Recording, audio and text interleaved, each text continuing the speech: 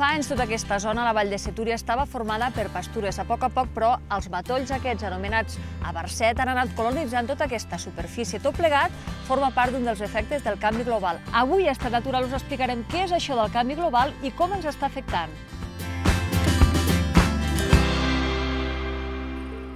Els principals factors del canvi global són el canvi climàtic, el canvi d'ús del sol, la contaminació i les invasions biològiques. En termes generals, el canvi global és el conjunt de canvis ambientals que pateix el planeta per l'acció humana. Si hem de posar un exemple de canvi global, podem parlar de l'abandonament de l'activitat ramadera i dels cultius a Andorra.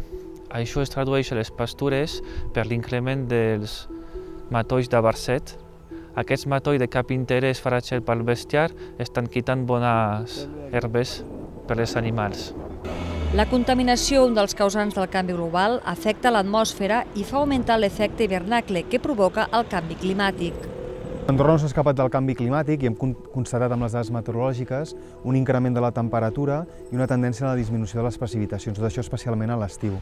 A més a més, hem de tenir present que també hem pogut detectar com els dies eh, gèlids, que s'anomenen, i dies amb temperatures negatives, també estan tendint a disminuir i els dies que tenen temperatures especialment elevades clarament estan augmentant.